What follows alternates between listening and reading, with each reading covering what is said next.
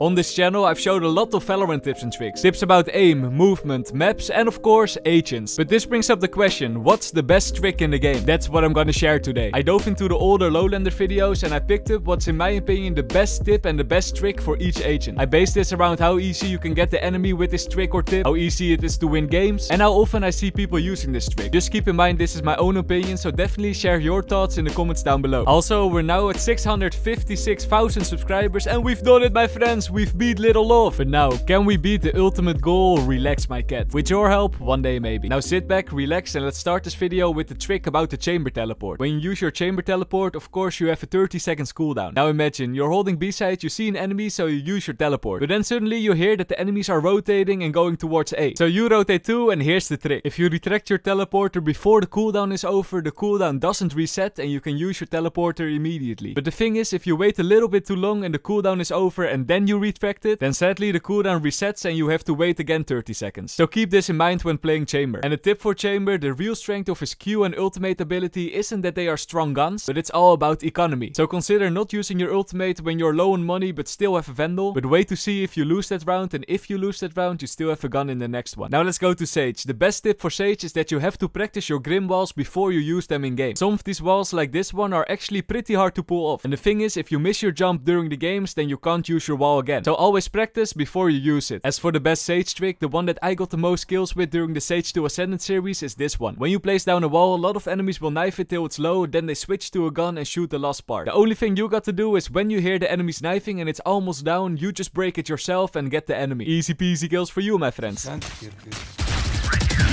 Ah, tricky. Let's talk about KAY/O. First, the trick. The KAY/O trick that just blew my mind is the one-way flashes you can do if you are standing on a higher spot. When you are standing on a high spot, just walk towards the edge and do a right-click throw. The cool thing is that you can use this trick on any map, you just need to practice it a little bit. As for the tip, I've said this a lot during the KAY/O series, when you use your ultimate, you're not the juggernaut. Even though your teammates can revive you and you feel very strong, you're actually not that strong. One headshot and you're down anyway, and when you're in the open, you're in a bad situation. This is also sort of the tip for Phoenix. The best tip for Phoenix is when you use your ultimate, don't run like a blind chicken searching for the enemies. I see you, don't say to me that you're not the one that's doing this. Instead of just running, of course, use your utility. You have it for a reason. As for the best Phoenix trick, it's honestly so simple. When you use your wall, use your flash through it. I got so many enemies this way. It's time for Astra. Let's start with the best tip. As we all know, Astra only got 4 stars. And when you're taking a side, there's a high chance that you need those 4 stars. For a stun, a suck-in and 2 smokes for example. The problem is though that if you use 4 stars, you don't have anything for the post plant. But here's the tip. If you want to take a side, split B for example, use your stars on the normal spots. Normally you would use your ability behind this wall over here, but now instead of using it, just don't do it. Some people might think to themselves, well, why even bother placing your stars down then? Here's why. If you place down the star, the enemy can see it of course. And if you give them the time, they will probably reposition. So in that case, you can just retract your star and use it for the post plant. Now the best trick for Astra. This one is pretty simple. In the post plant, use your ultimate just around the spike. The enemies might think, hey, I can defuse the spike from the other side. But when they are defusing the spike, you suck them to the other side of your wall and easy kills.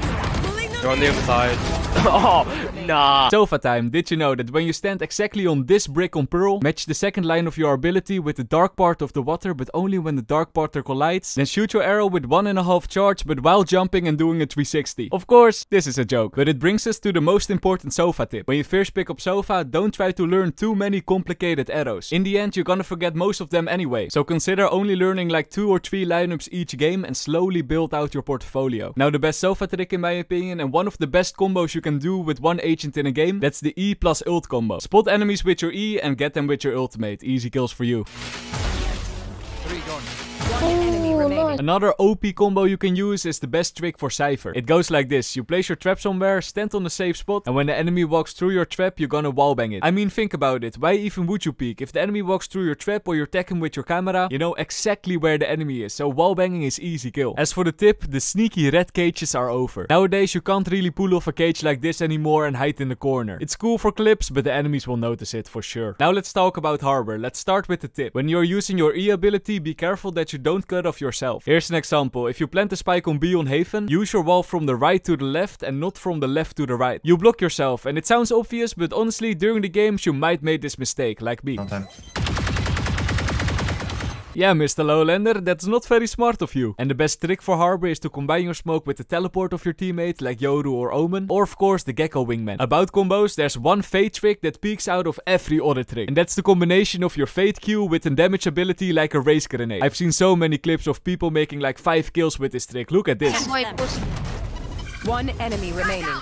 A. What the? Insane, well played. Now a tippy for Fade, when you use your ultimate, of course, don't shift walk. I see some people shift walking, but that's not smart, the enemies can't hear you anyway. So just rush on the enemies and get them. Let's talk about Breach. The biggest tip is that you shouldn't be stunning and flashing your own teammates. Um, yeah, Mr. Lowlander, of course you shouldn't be doing that. But how? Why do Breach players always stun you? Well, here's a small tippy. A lot of Breach players have the mindset, I'm the initiator, so I should push less and use my util. But on a lot of spots, this is kinda not true. Why? Well, if you push less, there's a higher chance that you will stun your teammates because your teammates are in front of you, of course. So what you should do is when the barriers are just going down, push in first for the first few meters, charge your abilities, it will slow you down and cast it. And while you're casting it, that's the moment when your teammates are pushing. Now the best tricky for Breach, you might have already seen it, but when you use your Aftershock, use your flash inside your Aftershock. Because of the Aftershock, it's very hard for the enemies to see your flash, so easy peasy kills. Jett, let's talk about you. An extremely good trick for Jett that not a lot of people are abusing is to curve the smoke and then push with a shotgun, for example. It's a very nice trick to get close to the enemies, perfect for a half buy. This is how it would look like.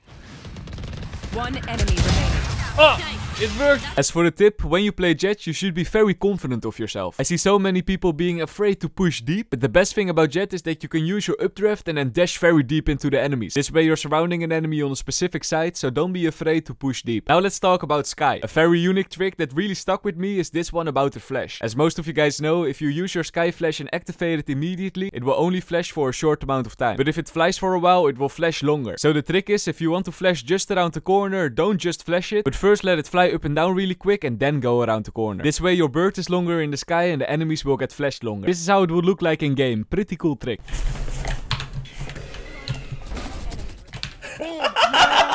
As for the most important Skye tip, when you use your ultimate, you don't have to run blindly after it. I've seen so many people get killed because the enemy is shooting on the cabbages. I'm just gonna TP.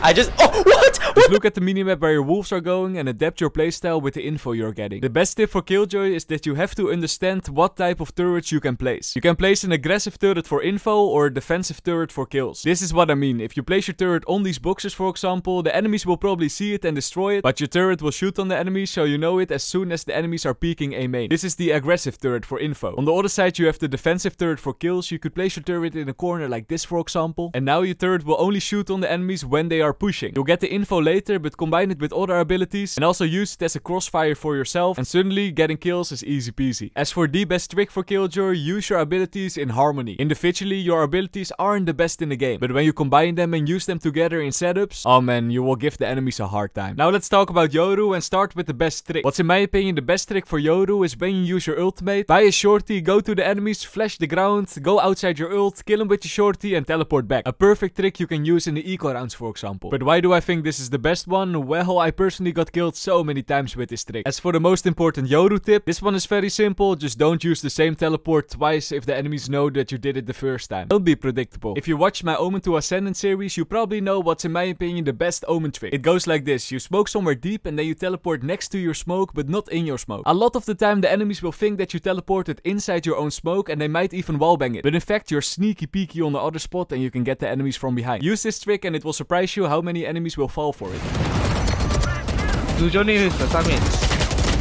As for the tip, when you use your ultimate, of course, look around you. Somehow not a lot of people are doing this, but you'll be surprised in what strange corners some people are hiding. It's time for Neon. The best Neon trick is actually a cool mechanic. You could do a double dash and this is how. When you use your E, you can dash and then if you use your ultimate, the dash will reset. So with this mechanic you can dash twice and you might get some cool clips. Now the best tip for Neon, don't push like a blind chicken when you're using your ultimate. A lot of people are doing this, but stay focused my friends. Brimstone, there's a thing that a lot of lower elo players are doing wrong with this ultimate. In the post plant, for example, when they hear the diffuse, they just think, okay, I'm gonna use my ulti in the middle of the spike and then just chill out. This is not the way to do it. First of all, always place your ultimate so the enemies will have to run as long as possible. So place it like this, for example. Then, because the enemies have to run away, it's the perfect time for you to peek. Maybe your ultimate doesn't kill them, but at least your bullets will. As for the best trick, combine your stim beacon with the ultimate of Gekko, and the Gekko ulti will go so fast that there's no way that the enemies can hit it. Pretty fun combo to pull off. And this is also a perfect bridge to go to Gekko. The best Gekko tip tip I can give you is about this wingman. Wingman can plant the spike and if wingman dies, not the real player dies. So the risk factor is a little bit lower. But the problem is that because this risk is lower, a lot of Gekko players would say, wingman, plant the spike over there, in the open, but that's easy to hold for the post plant. The problem is though that if the wingman is running towards that spot, the enemies can still destroy it. And when wingman gets destroyed in the middle of the site, it's sometimes hard to recover the spike. So always keep in mind where you are saying that the wingman needs to plant. As for the best Gekko trick, when you use your flash, for the first few seconds your flash will be very vulnerable. So make sure to use your flash in a way that the enemies will only see the flash when it's ready to shoot. So instead of just throwing your flash, you could bounce it against the wall for example. Now let's talk about Raze. The best tip is the most obvious, but still don't do it. Don't use the same double jump twice back to back. Mr. Lowlander, of course not. I'm not doing that. Yeah, that's what I thought about myself, but after reviewing my games, I suddenly found out that I was doing the same double jumps a lot during the games. I didn't do this on purpose, but it was just something that happened. So either I'm not very smart or more people have this problem. As for the best Raze trick, instead of double jumping, I found the satchel peak very useful. The main reason for this is because you don't need a lot of skill to use this peek. And easy kills for you.